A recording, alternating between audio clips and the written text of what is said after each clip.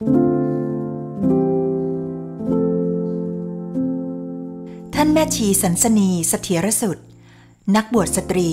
ผู้สร้างการเปลี่ยนแปลงในสังคมไทย ด้วยการใช้หัวใจแม่ หัวใจโพธิสัตว์นำธรรมะมาสร้างสติปัญญาในการดำเนินชีวิต ให้แก่เด็กและผู้หญิง ท่านเปี่ยมด้วยเมตตา และมีศิลปะการสอนธรรมะที่เข้าใจง่าย ทันสมัยและอบอุ่น ท่านมุ่งมั่นทำงานมาตลอด 41 ปี เพื่อถ่ายทอด มรดกธรรม ให้คนรุ่นใหม่นำสติปัญญาในพุทธธรรม มารับใช้สังคมอย่างทันสมัย ท่านแม่ชีสันสนีสถียรสุดมีนามเดิมว่า สันสนีปัญญสิริ เกิดเมื่อวันที่ 31 ตุลาคม พุทธศักราช 2496 ในวัย 15 ปี ท่านต้องเผชิญกับการเปลี่ยนแปลงของชีวิต คือการสูญเสียมารดาอันเป็นที่รัก ต่อมา ท่านได้ตำแหน่งนางงาม ได้ก้าวสู่การเป็นนางแบบ และเป็นประชาสัมพันธ์ เป็นพิธีกรที่มีชื่อเสียงมากในยุคนั้น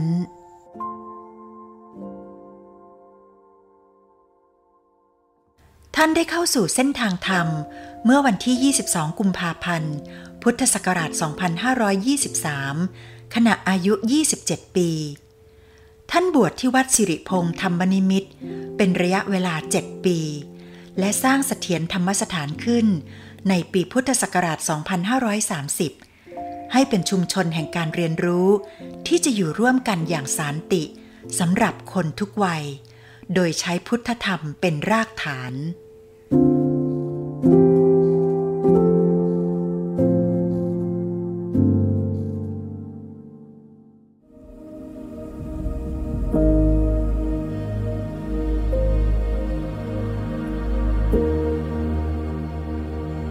ฒนาการศึกษาวิถีพุทธ ที่ศูนย์เด็กก่อนเกณฑ์วัดสิริพงษ์ธรรมนิมิตรซึ่งปัจจุบันคือบ้านเรียนแห่งรักและสารติ ต่อมาปีพุทธศักราช 2534 ท่านได้สร้างบ้านสายสัมพันธ์ เพื่อให้ความช่วยเหลือแก่เด็ก และสตรีที่ถูกทารุณกรรมทางเพศ และตั้งครรภ์แบบไม่พึงประสงค์ และต่อเนื่องมาเป็นงานด้านเด็กอีกมากมาย อาทิ อนุบาลฝีมือแม่ บ้านวันอาทิตย์ โรงเรียนพ่อแม่ ครอบครัวแห่งสติ นักสู้คู่คุณธรรม ค่ายเยาวชน SOS Seeds of Spirituality แม่อยู่ในคุก ลูกอยู่ในคัน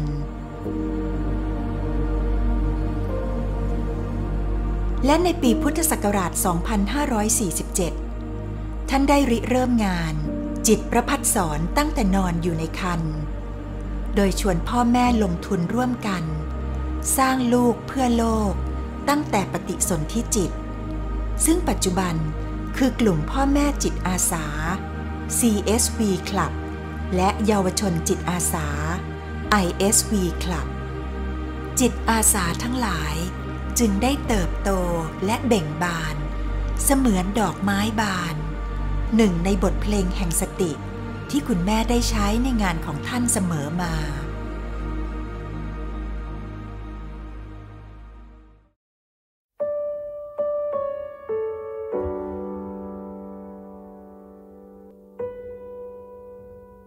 ในปีพุทธศักราช 2532 ท่านเปิดเสถียรธรรมสถานให้เป็นสถานปฏิบัติธรรม เริ่มจากค่ายพุทธบุตร สู่ โครงการอบรมศิลปะการใช้ชีวิต ด้วยอนาปานสติภาวนา โดยท่านเจ้าคุณอาจารย์พุทธทาสภิกขุ ได้มอบหมายให้คุณแม่รันจวนอินทรกำแหง ให้คำปรึกษา จนกระทั่งพัฒนาเป็นการอบรมต่อเนื่อง ทุกสุดสัปดาห์มาจนถึงทุกวันนี้ ปีพุทธศักราช 2538 ท่านริเริ่มการบวชแม่ชีศีลสิบ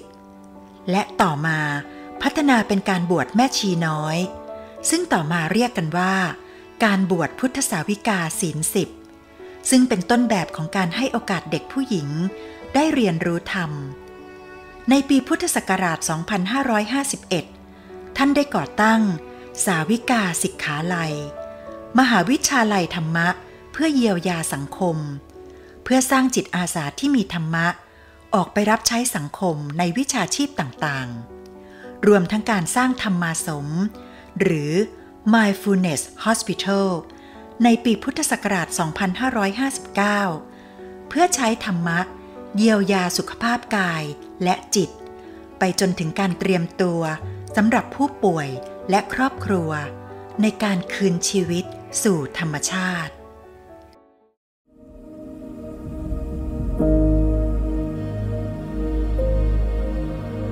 ท่านทำงานด้วยความถ่อมตน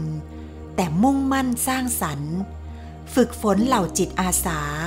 ให้ทำงานอย่างลดตัวตน และด้วยแรงบันดาลใจ จากพระอารยะตารามหาโพธิสัตว์ ที่ท่านได้รับมาเมื่อพุทธศักราช 2549 ทำให้ท่านใช้คุณธรรมของพระโพธิสัตว์ ปลุกความกล้าหาญ และความเสียสละในจิตใจของผู้คน พุทธศักราช 2560 ท่านป่วยด้วยโรคมะเร็งกระเพาะอาหาร แต่ท่านยังคงทำงานอย่างต่อเนื่อง พุทธศักราช 2563 เมื่อเกิดการระบาดของโควิด -19 ท่านยังคงมุ่งมั่นสร้างแรงบันดาลใจลำบากแต่ไม่ยอมจำนน โดยนำเหล่าจิตอาสา พลิกแผ่นดินแห้งแล้ง ณอำเภอแก่งกระจานจังหวัดเพชรบุรี ให้เป็น หุบเขาโพธิสัตว์ Spiritual Wellness Community เพื่อเป็นแบบอย่างของชุมชน ที่พึ่งตัวเองได้ และให้คนอื่นเป็น และเป็นชุมชนแห่งการเรียนรู้ธรรมะ เพื่อเยียวยาจิตใจ ด้วยเทคนิคการผันพลังงาน พุทธกิจสุดท้ายที่ท่านมอบไว้ คือการสร้างหุบเขาโพธิสัตว์ ที่ประดิษฐานของพระอารยตารา มหาโพธิสัตว์ที่ใหญ่ที่สุดในโลก ให้เป็นมรดกทางสติปัญญา แก่คนรุ่นต่อไป เป็นสถานที่พักพิงทางใจของผู้คน และเป็นพื้นที่สัปปายะสำหรับนักบวชสตรี วันที่ 7 ธันวาคม พุทธศักราช 2564 ท่านได้แสดงธรรม ผ่านความเจ็บป่วย และการคืนชีวิตสู่ธรรมชาติ สิริรวมอายุ 68 ปี 1 เดือน 7 วัน และ 41พรรษา บนมักคาแห่งการตื่น